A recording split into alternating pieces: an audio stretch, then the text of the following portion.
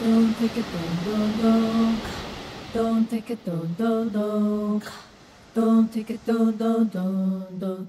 Don't take it, don't, don't, don't. And welcome, everyone. Thanks for joining us.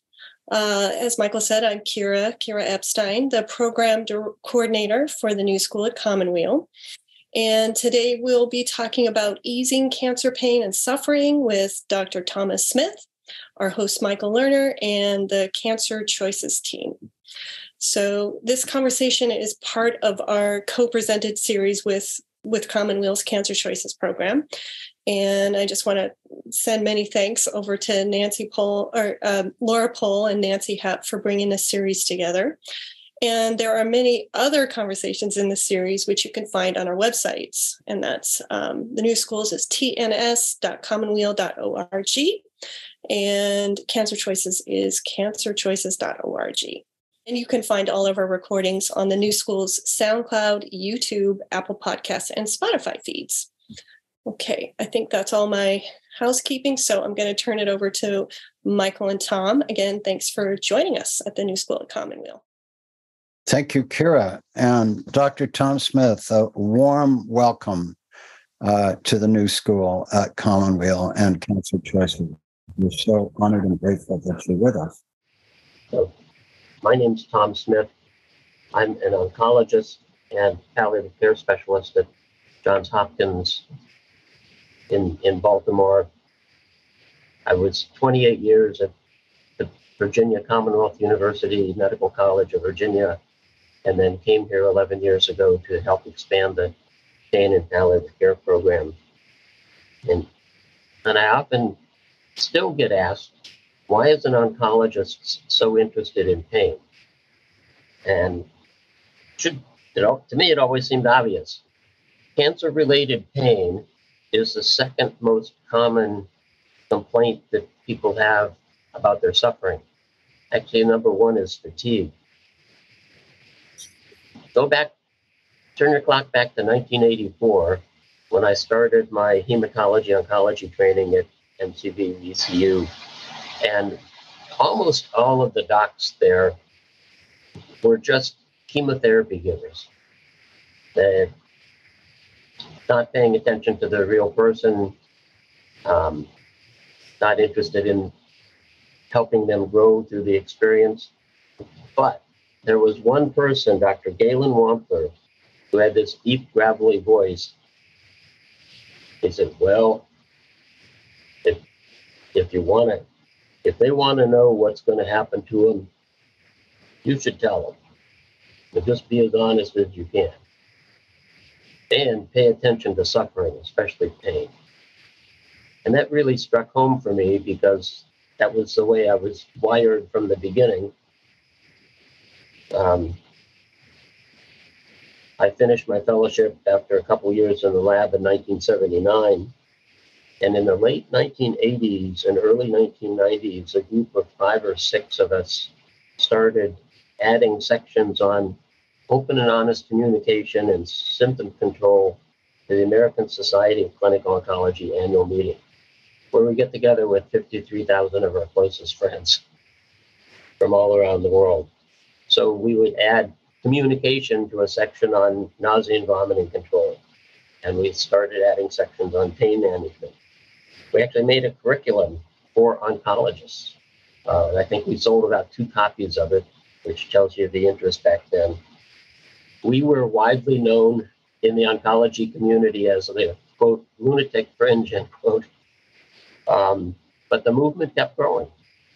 Uh, we we kept at it, and recruited more people, and now at least ten percent of the oncology board exam questions are based on palliative care, which is symptom management, open and honest communication, finding support for the patient and family, working on advanced directives, and working on legacy. So, most programs that have a robust palliative care program, all the oncologists, surgical, gynonc, med-onc, they all rotate through for two weeks to a month. I also myself have metastatic prostate cancer.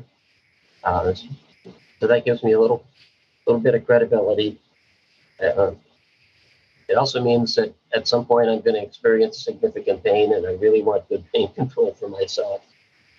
Uh, I should describe my implicit and explicit bias, and that's I'm data driven, and I'm data driven from randomized controlled clinical trials.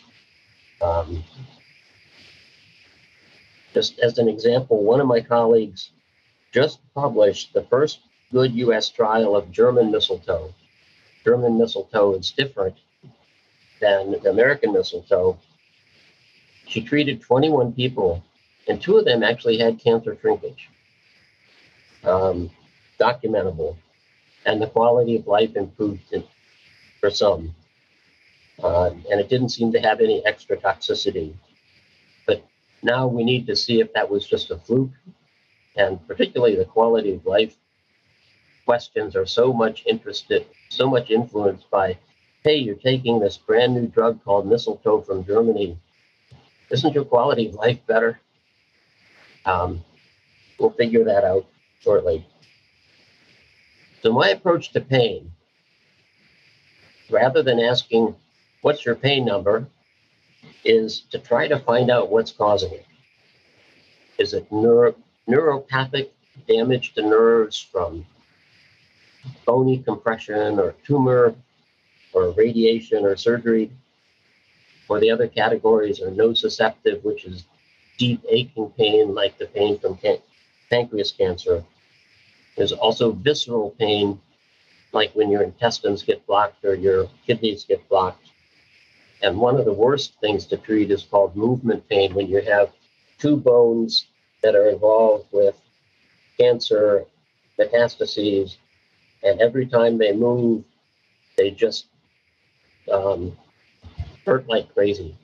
And most of the things we do don't do very much for that. Our understanding of cancer pain has dramatically increased over the past five years. Used to think it was just the cancer pushing things out of the way or the cancer damaging the nerves. But it turns out if you stick a really small needle right down next to where the cancer's in the bone and pull out a tiny drop of fluid and then inject that fluid into the bloodstream or someplace else in the body, the whole nervous system goes on high alert. So there are these small chemical compounds produced by your own body called neuropeptides that um, seem to mediate the pain more than anything else. I'll also ask people, what's a good pain goal for you? Would be would four be okay? Would six be okay? Would two be okay? Uh, if somebody says zero, no pain at all, um, and they've got a serious illness, I may have to say that may not be possible. But if we can get your pain down below four, you won't be thinking about pain all the time. You get anytime the pain score is six, seven, eight, nine, ten, most of the time you're just thinking about pain not thinking about any of the other things that should be happening in your life. So then I'll ask a number. What's your average pain? What's your worst pain? What's your least pain? Are there things that make it better? Are there things that make it worse? And that will give me clues as to what's causing it. Finally, after that 20 questions, you try to build a layer cake of relief starting with acetaminophen or Tylenol. Um, it's easy to take. It works by a completely different mechanism than any other um, pain, pain drug. And even people who are in whopping doses of morphine or oxycodone can sometimes get additional relief from three grams of Tylenol a day. If somebody has bone pain, we add nonsteroidal anti-inflammatory drugs because they seem to be singularly effective for that. Um, so things like ibuprofen or Motrin, Aleve or Naproxen, Meloxicam or Mobic, uh, whichever one. And it may take one or two trials of different drugs to see which one works for each individual person. Like my wife swears by aspirin and Tylenol does nothing for her. On the other hand, aspirin does nothing for me, but Tylenol relieves my headaches and relieves my arthritic knees. And then you add drugs for nerve pain if it's nerve pain. None of, none of these actually go to fix the nerve. What they do is they change your brain biochemistry. So they raise your serotonin, raise your norepinephrine, and that helps your brain inhibit the pain responses coming up. Um, there are drugs like venlafaxine, gabapentin, or Neurontin, pregabalin, or Lyrica. They all work in individuals, but they don't work all that well. Um, you look at the clinical trials, most of the time, only one in three or one in five or one in seven people get a great response. So you have to find somebody who can work with you to try it. Do a three week trial of one drug. If that doesn't work. Do three, either add another drug or do or switch to a different drug. Um, and then opioids. Opioids actually work. They work quite well. Um, I, of course, am personally responsible for the opioid crisis in the United States because I prescribed so much. Uh, everybody knew what was going on. It's just greed, greed, greed, greed, greed. It's now gotten, it swung the opposite direction. So it's almost impossible sometimes to get the right doses of opioids for people. Pharmacies don't want to carry it. Um, I have to recertify every six months that the person still needs it, which is you know half an hour of paperwork for me. Um, a lot of pharmacies might have one type but not another. So I'm, I'm often spending 45 minutes on the phone calling around to pharmacies, asking them if they have fentanyl patches. You have oxycodone 40 milligram tablets? And technically, they're not supposed to tell me because I could be somebody who's going to come by and rob them, but most of the time they're, they're pretty reasonable. Opioids do work for nerve pain too. One of the fallacies I was taught in medical school and residency and even oncology fellowship was opioids don't work for nerve pain like shingles pain or back pain where the nerves are compressed or surgical damage to a nerve. They don't work great, but they do work and they work especially good in combination with drugs like nortriptyline and, and gabapentin. So you're trying to build on top until you finally achieve enough pain relief without too many side effects. I have done some research on pain. Um, we did a large trial in five different countries with 202 cancer patients who were really sick.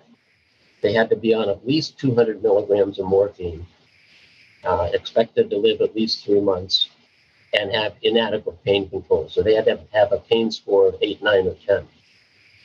Uh, most of them were on opioids plus one or two other drugs.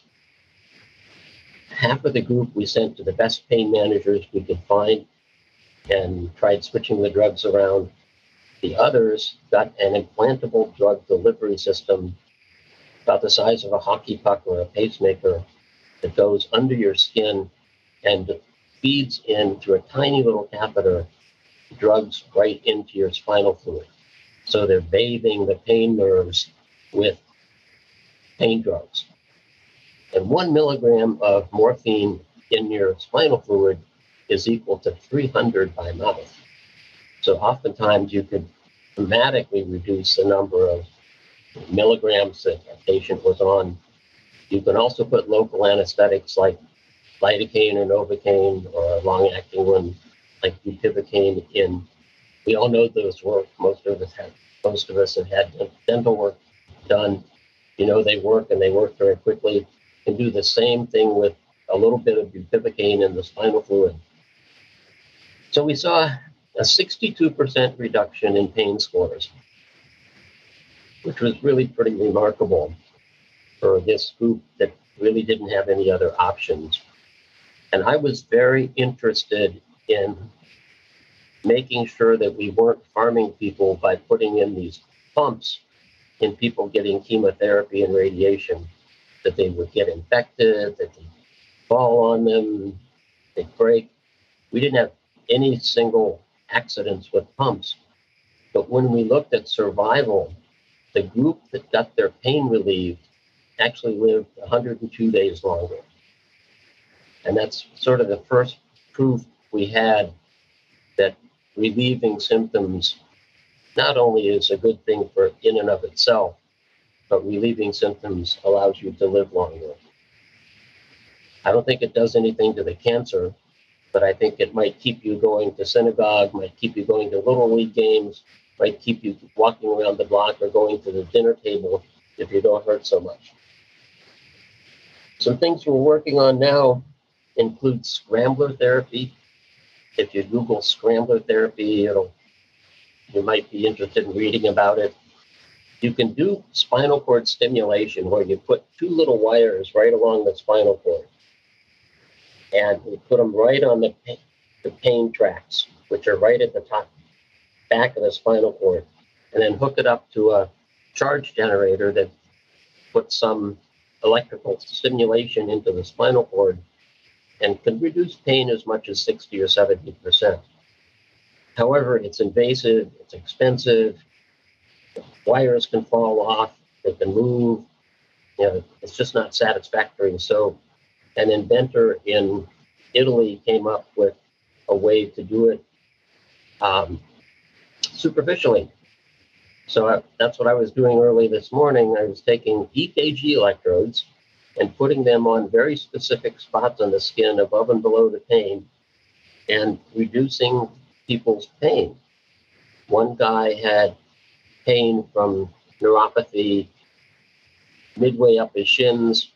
It was nine out of 10 on Monday. Today it was zero. And he, his numbness was better and his tingling was better.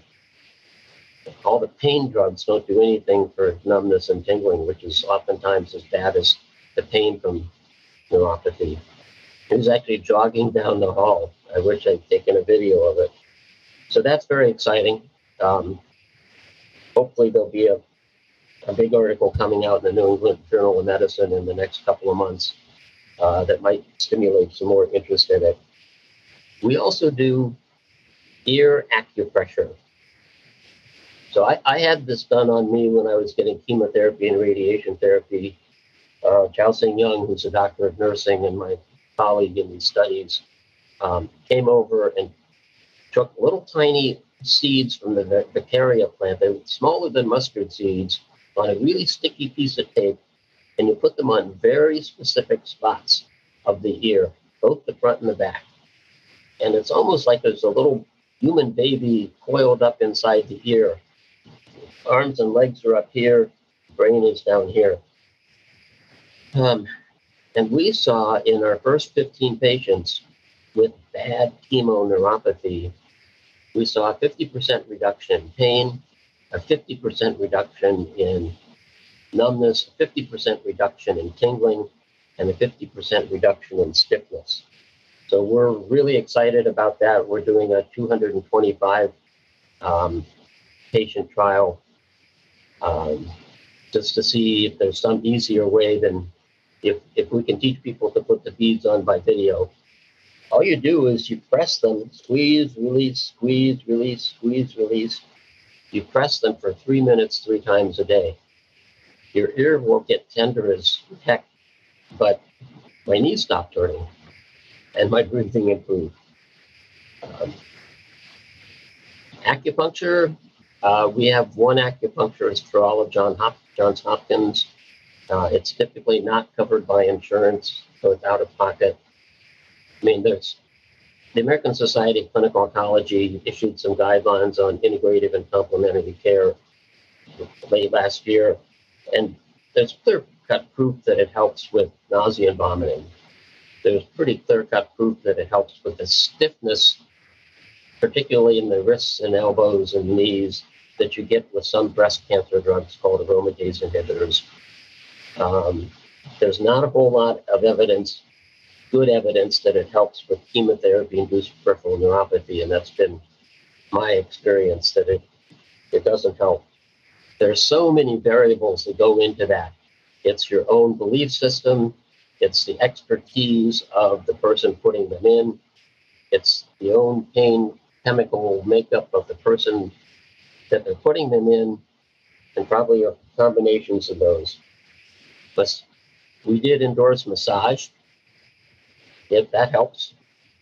Um, cannabis is has been um, hard to prove that it relieves pain rather than just dissociates you from the pain.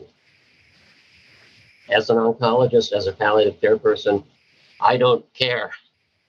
I really don't care. Um, as long as it helps.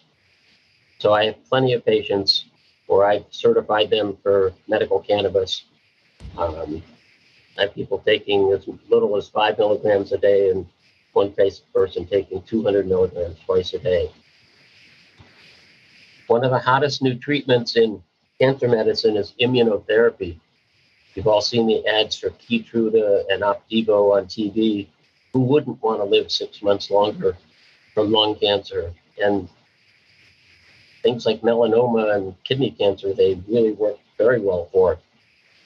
Uh, just a note of caution there are two studies from Israel that say that CBD and THC actually interfere with the immune system.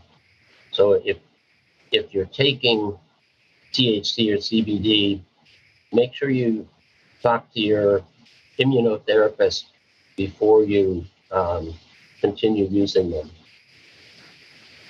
We also stress meditation. About one or two percent of our um, palliative care consults are. Can you come up and teach this person to meditate? So we built that into our uh, electronic medical record. I recommend the Calm app because it's so easy to, to use. The UC, if you Google UCLA MARC, the Mindful Awareness Research Center. That is a great resource for free meditations, anywhere from 10 minutes to 45 minutes. It also has really good explanations of the science. So Julie Bower and my friend Patty Ganz have been working on this for 20 years, and um, it's not going to make the nerves heal, but what it might do is keep you from catastrophizing about the pain. You know, my patients with chemo or myself when I have pain, um, they put their feet down on the floor and they say, blankety blank, my feet hurt and they're numb and tingling at the same time. Why is that? Because I got 12 cycles of chemotherapy. Why did I get the 12 cycles of chemotherapy? Because I had breast cancer. And now you're starting to get into this rabbit hole of is the cancer going to come back? What's going to happen to me? Um, so meditation can teach you to manage those thoughts um, uh, a, a, little bit better. So that's about all I could think of. I'm happy to open open up for questions. I see one is UCLA M ARC. It's um, Mindful Awareness Research Center. Just Google UCLA MARC. The question above that is about scrambler therapy. Uh, it's not experimental. It was actually approved for safety by the FDA back in 2009. The, and the growing number of places are are using it. City of Hope has two. UCLA has a machine that's up and running. Mayo Clinic has two. The thing that is keeping it from um, more more usage is frankly the reimbursement, because Medicare generally sets prices for what they'll reimburse you for for procedures. Like if I stick a long wire along somebody's nerve in their abdomen or down their leg, I can bill $2,500 and get paid $2,500 by Medicare. But when they looked at scrambler therapy, me just putting electrodes on people, and we'd already given them evidence that in Europe, 2,693 people had been treated without a single serious side effect. And then we've just looked at 1,200 people that we've treated or on clinical trials. We only saw three side effects. Well, one, two of them were a little bit of redness and irritation under the EKG electrode, and one of them was a little bruise under the EKG electrode. The Medicare said it's not dangerous. You've already told us it's completely safe. Um, we're going to reimburse you at the same rate as a physical therapy tech putting on a TENS machine $32 for 30 minutes.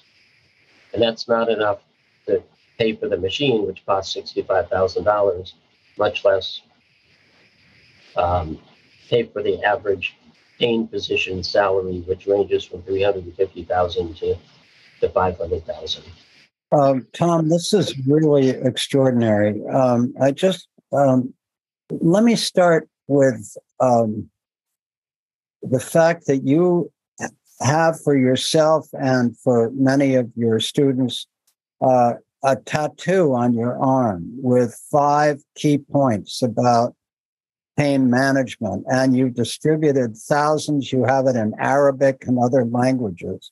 Right. What what are the five points? We can't see that. What could you read them to us? Sure. So we have a lot of learners here. I've personally bought about 10,000 of these and distributed them. Um, I realized as a breast cancer doctor, I had a spiel, a set spiel for saying, I think you need adjuvant chemotherapy. The drugs we're going to give you is this. These are the side effects. This is when you should call me. Here's my telephone number. But I didn't have a simple, easy way for starting a much harder conversation when somebody is seriously ill and perhaps even dying. So you put the tattoo on your forearm like this, um, and you can pretend you're a quarterback looking at your plays, and you say, How do you like to get medical information? Are you the sort of person who wants to know all the details or something else? Because there are about 10 or 15% of people who say, I just want to hear good news. I just want to hear what you're going to do for me. I don't want to hear any bad news. And I'm my typical truth, truthful self. I have on occasion barged in, not asked that question, and really destroyed a relationship that I was just starting to build, as well as very much upsetting the family. And you can come back to that conversation many times during the course of, the of the illness. And the second question is, what is your understanding of your situation? I'm I'm told that works pretty well at home too. Uh, honey, what's your understanding of the checkbook situation?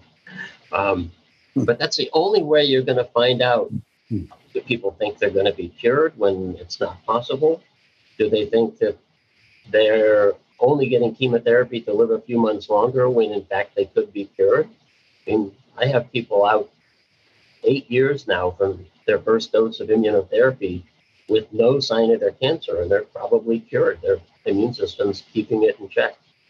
So, you know, what is your understanding of the situation? Number three is what is important to you. We actually have that on our intake sheet. We also have a question what gives you joy?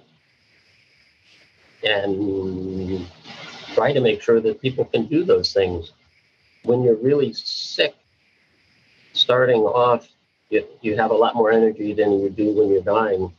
And if, if somebody wants to complete some legacy work, like writing a book, doing a DVD of their life, um, making up with their brother that they haven't seen for 17 years, now's the time to do it.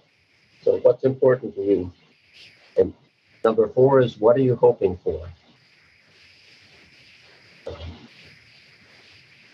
Some people will say, I'm only hoping for a cure. Other people will say, I just want to live to see my granddaughter graduate from UVA um, in, in June. And then, then you have to ask the question, well, how old is your granddaughter? If she's three, it's probably going to be a problem. And then the last one is more um, behavioral interviewing. I lean in, I have an open po- open pose, pose, pose um, and I say, have you thought about a time in the future when you might be sick enough to need an advance directive or a living will? And most of the time, I would say 90% of the time today, people know what that is, least my patient population. And 10% don't, you can explain that it's just a way of writing down what's important for you. The first thing I want out of that conversation is if you get so sick you can't speak for yourself, who do you want to make medical decisions for you? And I'll tell people it is a whole heck of a lot easier to have these discussions Thursday afternoon in the light than it is Thursday at 2 a.m. in the emergency room um, when the person's really sick. And most people get it. Now, I would guess uh, we probably have 50% of our patients with advanced medical directives now. So up from close to zero 11 years ago. So there,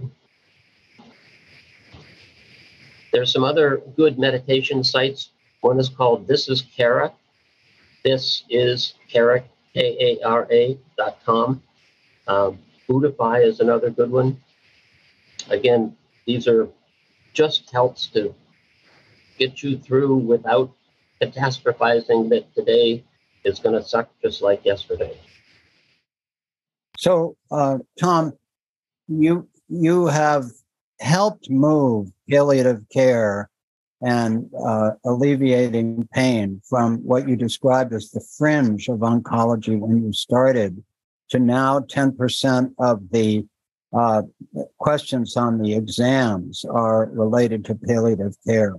But the average patient going to the average oncologist, how likely would you say it is that they will encounter someone uh, who um, has the sensibility uh, to do the kind of work that all of us would want our oncologists to have? I think it's completely situational. Like here, um, we probably see one eighth of the cancer patients, and oftentimes it's very late in their course. The American Society of Clinical Oncology back in 2012 looked at the data from four big clinical trials, and number one, there was no harm at all from seeing palliative care. And, the truth is, people who start with palliative care in the outpatient setting live longer and better than those who don't get palliative care. Been shown in a couple studies, and uh, it's just that relief of symptoms and relief of burden. Um, so we said that every seriously ill cancer patient or advanced cancer patient should be seen by a multidisciplinary palliative care team within eight weeks of diagnosis. We knew that was completely impossible. So it was an aspirational goal. Um, there aren't enough palliative care people to do this. That's why we work very hard with our oncologists to uh, learn some of these skills, particularly the communication skills, um, reflexive listening, not reacting too quick. You know, if somebody says, I'm really worried about dying, say, tell me more rather than, oh, it's not going to happen for a while. Um, and it gives joy to me to be walking through the oncology clinic like I was this morning and hear one of the fellows say, What's important to you? What gives you joy? So they get it. And our fellows now have about 80% of their patients being seen by palliative care concurrently. So it is possible to to do it. Just we just we can't hire enough people. Because is it not true that if you are anxious or depressed, that amplifies the pain signal?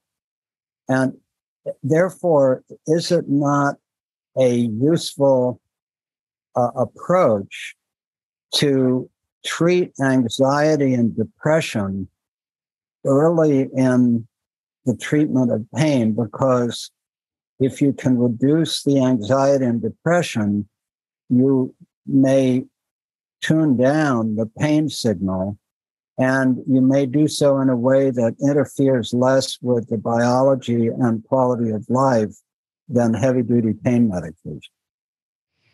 I would say amen to that. Um, and a lot of the antidepressants, the SNRIs, um, actually have anti pain mechanisms of their own. So you may be killing two crabs with one stone. So, anxiety and depression, we screen for um, one of my friends, Harvey Chochinov, who's a psychiatrist in Winnipeg, Manitoba, had 169 patients hospitalized with cancer in their hospital. And he did the Beck Depression Inventory 12 question test. He did a thematic apperception test where you look at the picture and then describe. And then he had one of his fellows or residents do a 45 minute um, trained psychiatric interview. And then he asked them, Are you depressed? Or since it's Canadian, are you depressed, eh? and guess which instrument had 100% sensitivity and specificity for de- detecting clinical depression? It was, mm-hmm. Are you depressed? Or are you, de- over the past two weeks, have you been depressed most of the time? And even oncologists like me can learn how to do that and then start start treatment and even make a referral to a uh, to a therapist. So couldn't agree and, more. And uh, Teicher says, what is the best way to do that if antidepressants aren't working? Um, what's the best way to relieve anxiety and depression? I think that's what she means. Okay. Um, remember that there are lots of different classes of antidepressants. And there are lots of times when a combination of antidepressants um, works a whole lot better. So I've, I've had terrible depression myself a couple times during my life, once during residency, and then once uh, again when my prostate cancer was I was getting radiation therapy and they gave me drugs to drop my testosterone to zero. Not only did it, um, the pills reduced my lung function by 50%, so I could barely go upstairs. I got profoundly depressed because you know I'm a runner. All my friends are runners. That's my social activity. Um, I got really, really depressed. Actually, hospitalized myself for six six days so I wouldn't kill myself. And the psychiatrist that I saw put me on an antidepressant called mirtazapine or Remeron, and it worked a little bit. Gave me a lot of side effects. My he retired. I saw another psychiatrist who's put me on Wellbutrin or bupropion. And literally within a week, my mood was lifted. I was far less anxious. I was far more productive at work. I was feeling much more myself again with essentially no no side effects. And my depression got a little bit worse, so we added a little bit of olanzapine. So you can add trace amounts of secondary drugs and often salvage depression treatment. That's where you need a good psychiatrist. I don't think oncologists like me or palliative care people should be managing complicated depression. And you should pair that almost certainly with some talk therapy and exercise and getting outside for 20 minutes a day and sitting in the sun. Uh, Tom, uh, let me go to some rather deep questions of um, in your own inner work in this field, which has been so extraordinary, uh, and you mentioned things like um, the importance of your belief system. Um, what has been, and I, I'm not going to know how to frame this, but what has been your inner spiritual journey or psychological journey or whatever language you would put on it? Because you mentioned uh, that many oncologists are not interested in the growth potential of this journey. Well, you know, we have done 216 week long retreats for cancer patients over the last 30 years for people who are profoundly interested in the growth possibility of this journey. And we have seen in the course of one week lives be completely transformed in lasting ways, you know, that people remember for the rest of their lives. So uh, you're operating in a, a medical setting with people with limited time and, and using all the pharmaceuticals and then all the adjunctive treatments you've described. And, and your work is unbelievably brilliant. But what has been your own journey into deeper questions that uh, pain and suffering uh, bring to us? And how are you able to talk to that when you are able to talk deeply either to colleagues or students or patients? Hmm. My own inner journey has been uh, up and down. Mm-hmm. Um, I'm Quaker, and so one of the tenets of that is you don't need an intermediary to speak to God, that there's something of the special light in all of us um, and frankly, a lot of Quakers are more Buddhist than Quaker hmm. um, and may not even believe in a supreme being or but may believe in some spiritual force outside of themselves. Mm-hmm. That's sort of where I would place myself. But that's been a journey. I've had days where everything goes wrong and everybody dies, and sometimes dies miserable deaths. And you've got the one that strikes me the most was having having a mom die of leukemia in the ICU and having literally to peel her three and seven year old kids off off her off her body um, as gently as we could. You go home on a day like that and you think, what sort of God would do this? how can there possibly be some spiritual being overlooking us and thinking that this is okay? And then the next week, you might have a family that was completely fractured, who, when grandmama got really sick, they made up a schedule so they would spend, each spend time with her so she'd never be alone. They interviewed her and recorded it uh, so she'd have her life. I'm thinking of one 90 plus year old African American woman. Just imagine the changes in her life that she's gone through. So, in that case, you think somebody's really looking out for them. Um, it it goes up and down. Mm-hmm. It sounds to me as if in other words, I make a big distinction between empathy and compassion. And empathy is when you feel the pain of other people, and compassion is when you feel compassion for their pain, but you don't take it on. Um, um, and I think being profoundly empathic is a much harder trail for a practitioner in the face of suffering all the time. I, but I sense that you may be uh, profoundly empathic and may take on a lot of this. Is that true or not? I, I think that's true. I probably take on too much. That's just who I am. Mm-hmm. Um, I mean, it started in medical school, it continued in residency. As an intern, I took a dying nun um, out to her uh, sister's wedding um, in an ambulance. You know, called up the ambulance company from her small town in Philadelphia, outside of Philly, and said, "Could you come pick up Sister So and So, and I'll go with you." And this was before we had PCA pumps or patient-controlled analgesia pumps. So I went down to the pharmacy, and they they basically handed me a cup full of dilaudid syringes. I'd have to sign them out. I'd and so every two hours, I would just give her two milligrams of Dilaudid. Um, it was one of the most rewarding experiences of my life, uh, as well as made it possible for um, the sister to, to be there at a very important life event. Mhm. So, yes, the em- empathy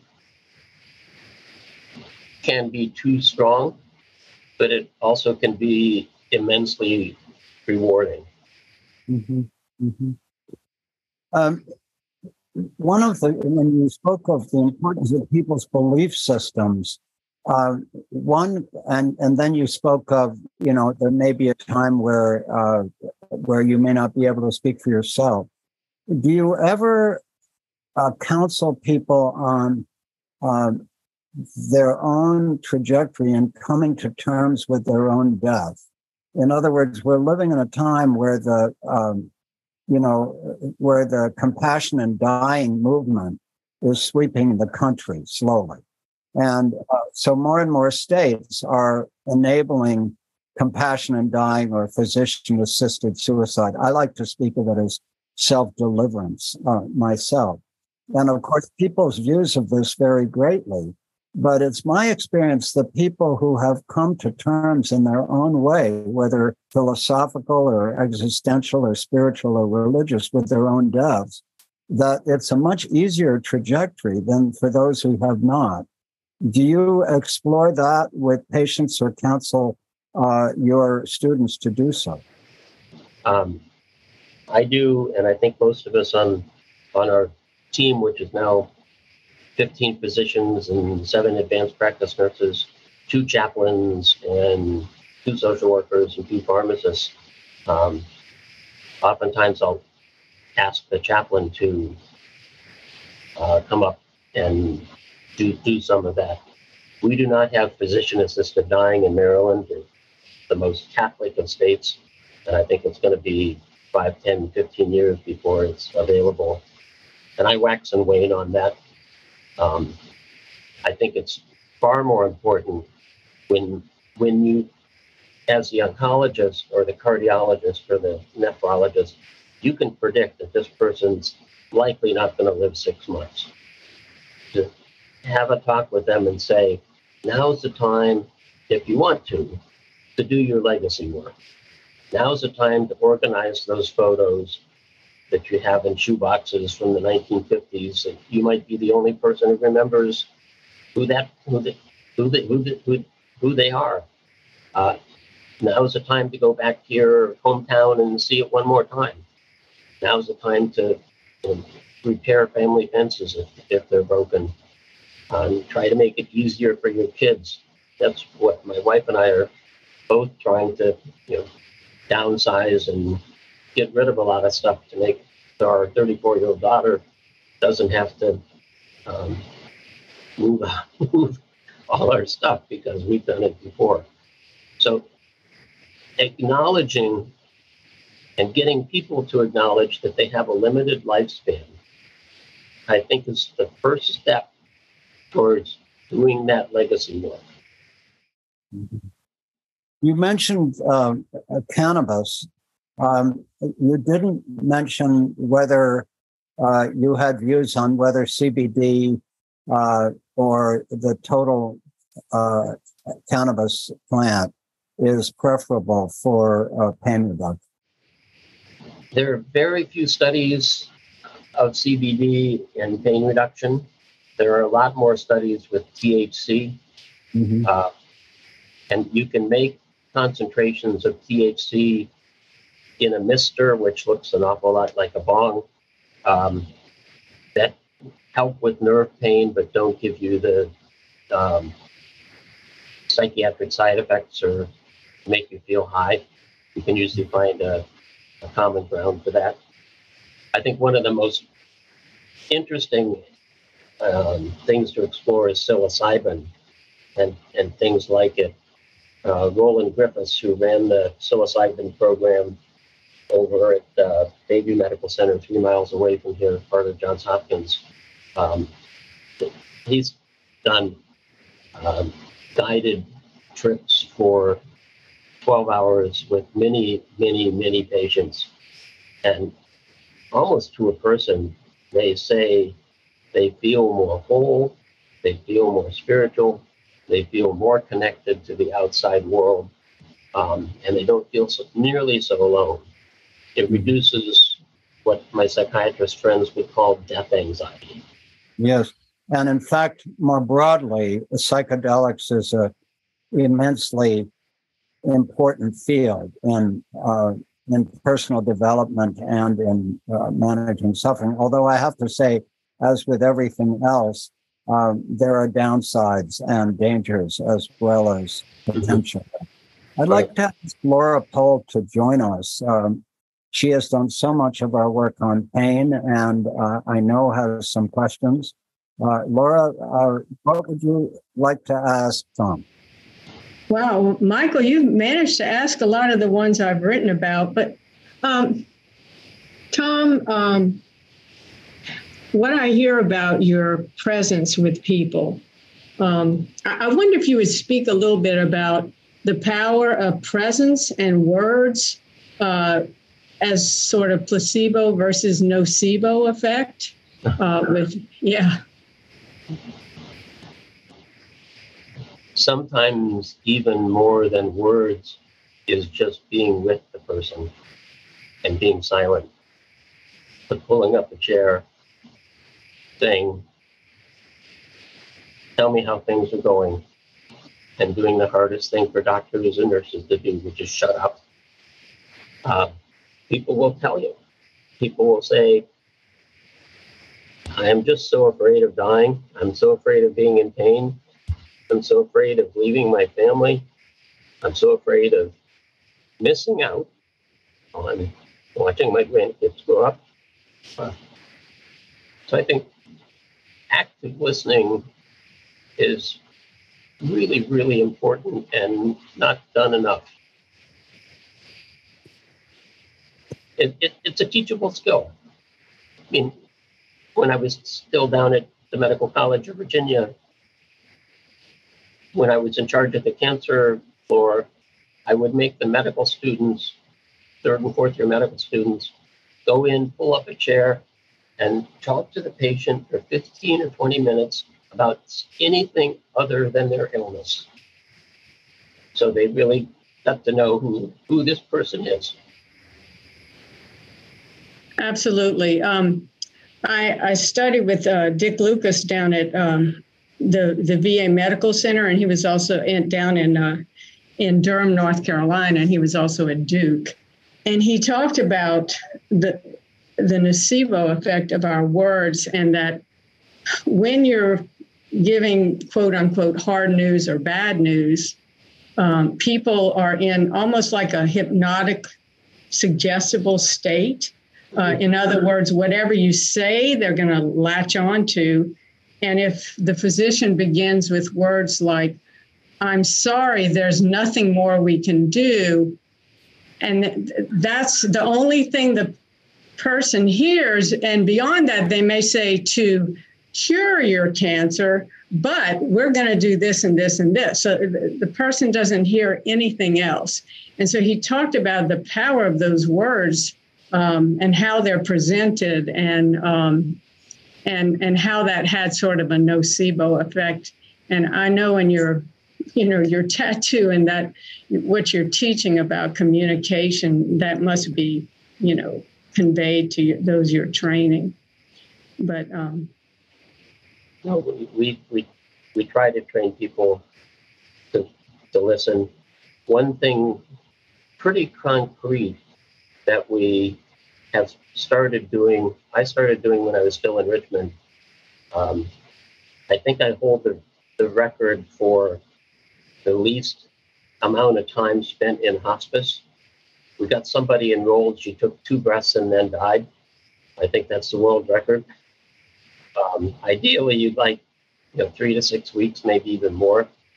But now we teach all the fellows when you really think this person has a good chance of not being here in six months, you can still give third line chemotherapy, fourth line chemotherapy, and attend to their needs. But, and, you know, not but, and it's a good time to set up a hospice information visit. So, say, I'm in my own practice, let's say this is now our fourth line of chemotherapy, and the last one only worked for about three months. So I know that's the situation's getting more serious. The patient may not, but I do for sure. So uh, if they want to talk about prognosis, I'll do that. But I'll also say, and now is a good time for us to talk about hospice for if and when we need it. And I would like hospice to come out at your convenience and tell you what services they offer and what they don't offer.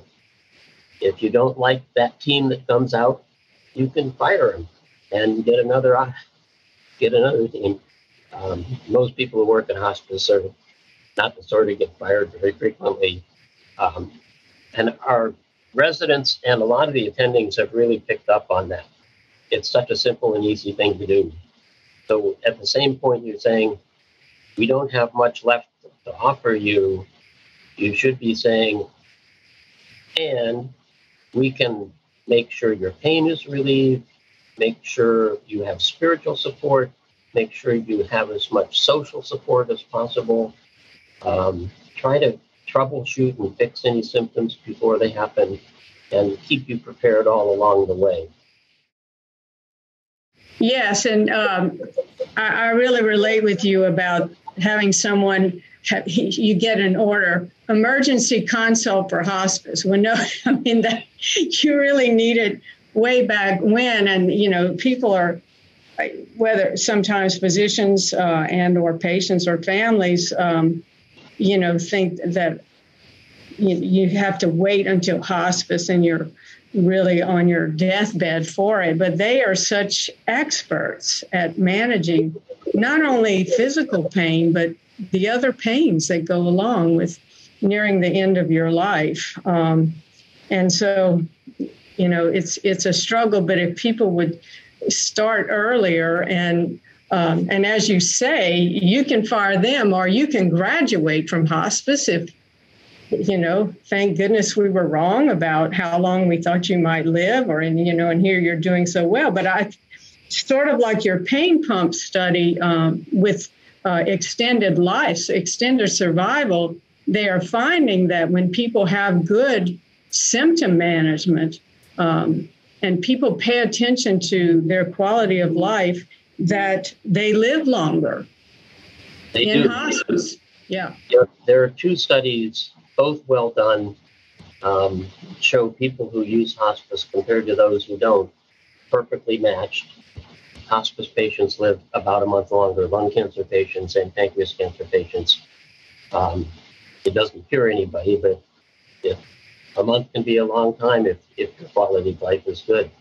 And Ethan Basch has done two studies, one with at Sloan Kettering with 676 solid tumor patients with stomach cancer, colon cancer, breast cancer.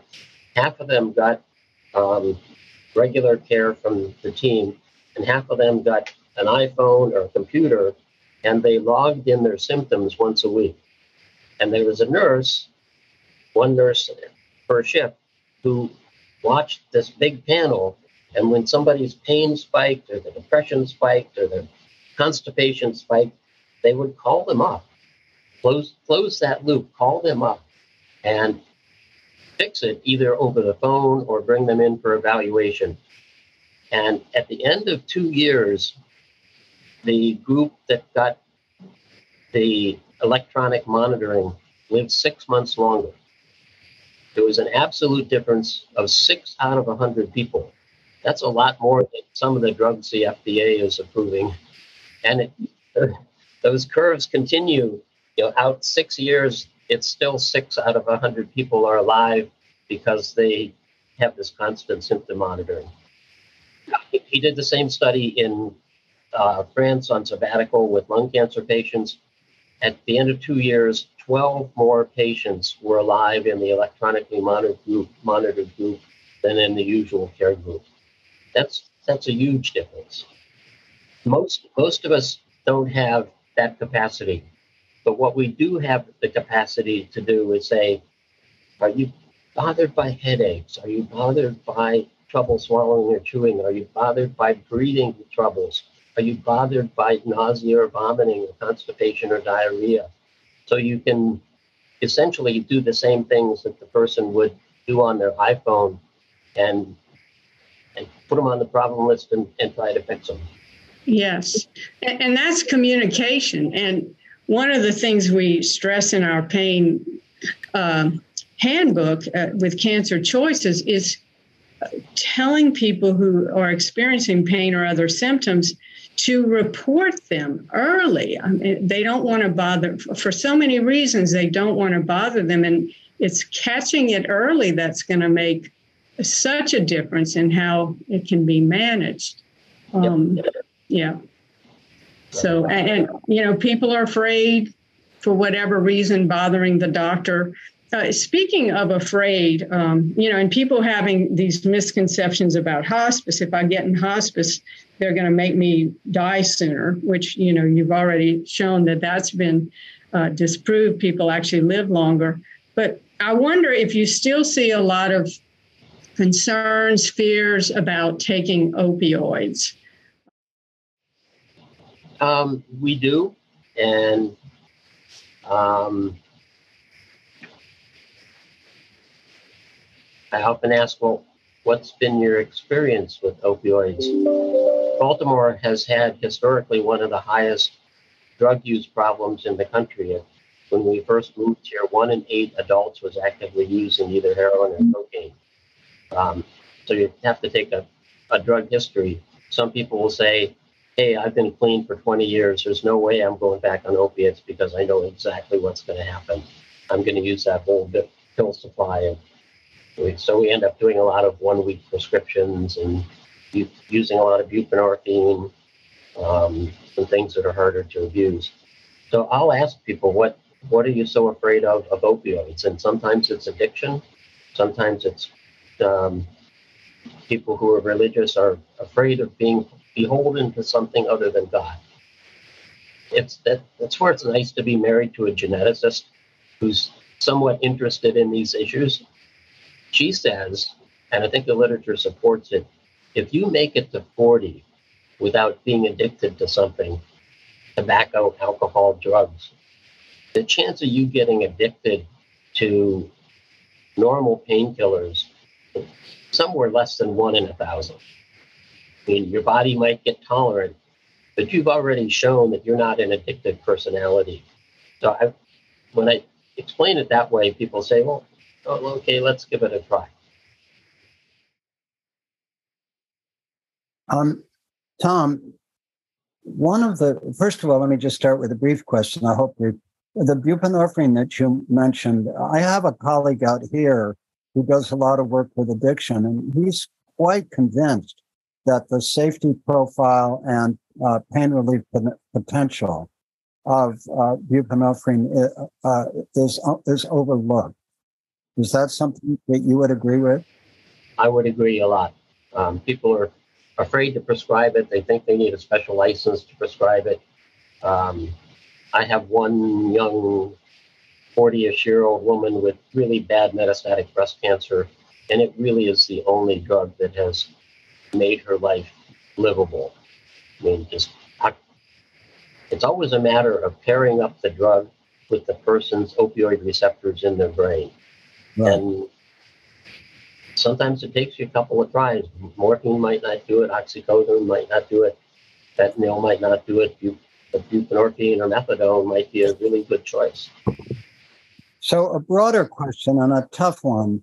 Uh, there are three books that have influenced me about that are critical of the whole direction of cancer research and treatment. Uh, Clifton Leaf's The Truth in Small Doses was a very major study of uh, cancer medicine. Uh, a recent book by V.K. Prasad called Malignant. He's on the faculty at UCSF, an oncologist, and a third book called The First Cell by Azra Raza, who's a professor of oncology at Columbia. And they all make a strong case that the uh, essentially that the power of the pharmaceutical industry has been such that um, that the direction of research and treatment uh, is not in the best interest of cancer patients. And um, for me, having just really studied these, there, there are two questions. I mean, two directions of questions. There's one study that I think Prasad and uh, Azra Raza cite um, that came out after Clifton Leaf's book, uh, that where I think it was either Prasad or whoever was doing the research. They looked at 19 years of new uh, drug uh, approved FDA drugs for cancer and what was the median increase in survival. And it was 2.5 months. All right. And so both of these people, Prasad and uh, both oncologists, Prasad and Azra Raza, um, uh, say that there are a lot of very mediocre drugs being uh, approved uh, that number one are often infinitely more expensive than older drugs that do just as well or better, but just as well. Uh, and and and then they are promoted uh, heavily uh, because of uh, people's ties to the pharmaceutical industry. So you must have run into these questions, and it goes beyond pain medicine. But what is your own appraisal of the state of the direction of cancer treatment and cancer research in the United States, uh, given these kinds of critiques? I mean, I'm sure I have some biases because I've always worked at research institutions and I see my colleagues um, either with studies they've designed or studies that are drug company studies doing their absolute best to make make things better for patients. Um, I think it's important to remember the median is not always a message because some people might get two and a half months, some people may get nothing, and other people may get two years, and we're, we're simply not very good at predicting who's who's going to respond in that way. Um, I've taken care of a lot of doctors in my day, and doctors will say, I'll take one cycle of chemotherapy. If it makes me too sick, I'm done. If it's helping and it, I'm not too sick, I'll do another and then another and another. But we're going to reevaluate it at every cycle. And that's, the way I think it should be done. Um, the more, you know, I've had to relearn molecular biology and in my um, scrambler therapy work, I've had to relearn neurology and dust off the three cells that remained in my brain that remembered something about electrical engineering. Um, and biologic systems are just really, really complex. Complex, and you think you've got it, and then you realize there's another layer underneath, and there's another layer underneath, and there's um, it's just not not easy. Um, I, you do point out quite appropriately that uh, with people living longer and longer, they are accumulating toxicities. So, more nerve damage, more heart damage, more lung damage, more GI distress. They're also accumulating more financial toxicity. I mean, if you're paying $17,000 for one drug for your recurrent colon cancer and $34,000 for another drug for your recurrent colon cancer because they work better as a team, um, your copay of 20% on that may completely bankrupt you. Um, and then there might be another option after that that gives the average person six months, and it's it's not going to cost two hundred dollars. It's going to cost seventeen thousand dollars. The best prediction for the new price of a drug is the prices of the drugs that got approved before it. And it's it's completely untransparent. I mean, you can't get into what um, you can't really figure out how much Amgen spent to make this drug. Um, and there are a lot of drugs that are you know, 300,000, 400,000, 1.2 million for a single person. Um, but there may only be 50 kids in the United States with that particular disease. So it, in that, in that case, it's probably justified to support the research necessary to do it. Mm-hmm. Well, we're in the last 15 minutes ma- maximum of our conversation. I just want to ask you are there any topics that you would like to? Uh, first of all, I cannot tell you how much we appreciate this because you're really opening up um, a, a tremendous number of areas for us to continue to explore in cancer choices and in all our work at Commonweal with cancer. Are there any broad areas that we have not touched on that, um, or specifics that uh, you would like to suggest we at least explore a bit? One thing is remembering that cancer or any serious disease is a family disease. Yes. So I what I teach the fellows and the residents here is you pull up a chair and at some point during the interview, not the first question, but once you we usually start with symptoms because they're safe. And then we'll move into well, who's your support system? Mm-hmm. And try to you know, write that down. And are you a religious or spiritual person? Uh, yeah, I'm Catholic. Have you gone to church in the past couple of years? No, but uh, Father Jim knows me. Has Father Jim called on you? Or would it be okay if I called Father Jim and asked him to come make a house visit? Um, once you've had some of those conversations and get to know a person, you look people in the eye and say, Your life has been turned upside down. How are you coping? And people will tell you, I'm doing the best I can. Every day is terrible. Every day is okay. Um, one, a lot of people use this as, as a growth opportunity to say, I've got a limited amount of time left. I'm going to be my best person. I'm going to um, do some of the things I wanted to do, do that legacy work. And then after you've talked to the patient, I teach the fellows and residents to physically turn and face the family and say, Mom's been pretty sick for the past six months. How are you all coping with her situation? And they'll tell you. I've used up all my FMLA. Um, now I'm using my vacation time. Um, I've had to drive her to you know, six doctor visits in a week. Why can't you get them all together? Um, they'll tell you what's going on with their lives. And I can guarantee that will be the first time anyone has asked them about how they're coping. My own experience, you know, having prostate surgery and then a quick recurrence and prostate radiation therapy and androgen, androgen deprivation and having all sorts of side effects. I had a, a TIA from it, which is associated with the drugs. You know, I lost half my lung function. Um, felt terrible most of the time, just tremendous fatigue, just tremendous fatigue. And I went over to see one of the dermatologist dermatologists, and I get seen in the in the the residence clinic over there, and they have an attending of the day who's monitoring the, the residents.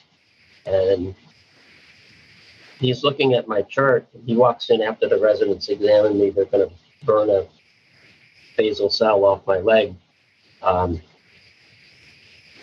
he's, he's looking at my chart and he's saying, You had a pretty tough year. How how are you coping with that? And I the only time in my cancer history I've been asked that question. And I said, Well, frankly, it's been a pretty crappy year. That's not exactly the word I use. It's been a pretty crappy year. And you could tell he just physically backed up. He was completely uncomfortable with taking it from, from there on in. But we, and he, he said, Where's that spot on your leg? That was yeah. his response. Yeah. Uh, so teaching people to ask about coping is really important.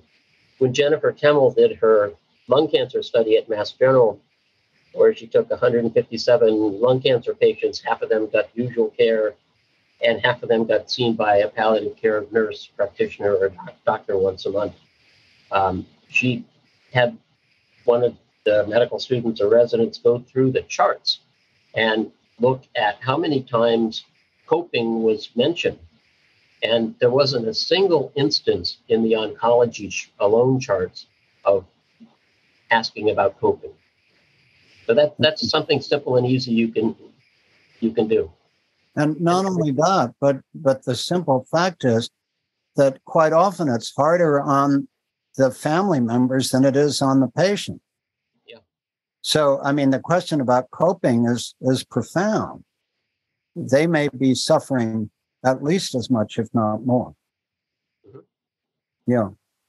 Um, uh, uh, uh, one of our uh, friends on the call asked, are there any book recommendations for a terminal patient and their immediate families? Are there any book, book recommendations? Yeah. Um, Jane Brody's Guide to the Good Great Beyond. I think I have a copy of it over here. She's a New York Times uh, uh, health correspondent, one of the great New York Times health correspondents. So, done a lot of important work.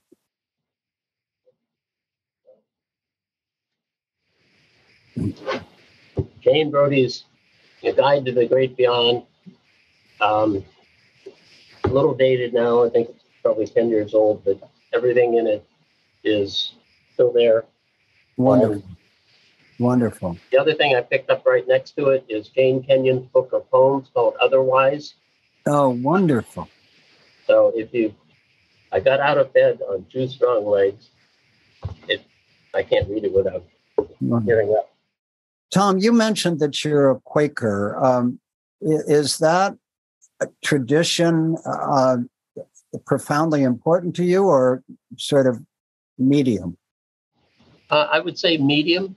Uh-huh. Um, I mean, I became, I started going to Friends meeting when I was, uh, I think, 12.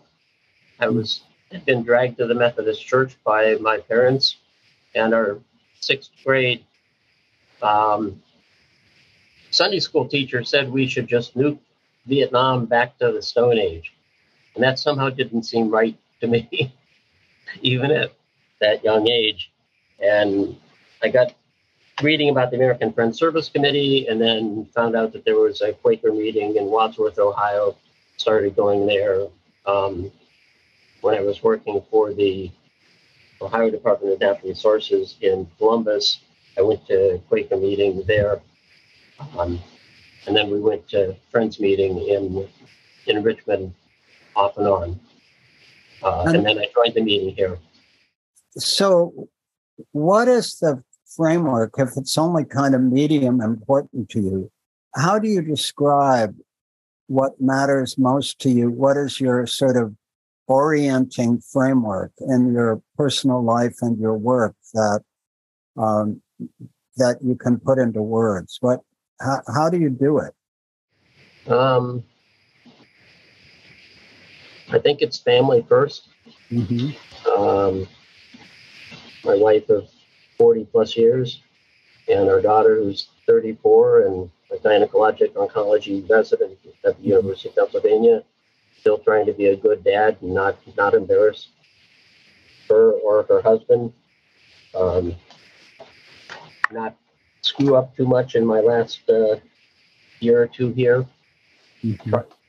So after that, it's right now for me one of the biggest things is succession who's going to lead this program as I'm stepping down because I'll be at 40% next year. Um, and right now, there are seven openings for directors of palliative medicine in the United States. Um, there aren't that many middle aged people who um, either want to do the job or have thought about it. So, succession is you know, a big worry for me right now. I thought I understood that palliative care was one of the really hot areas that was attracting a lot of uh, young, compassionate doctors. So I'm surprised that there's a shortage of people who want to lead these clinics. Um,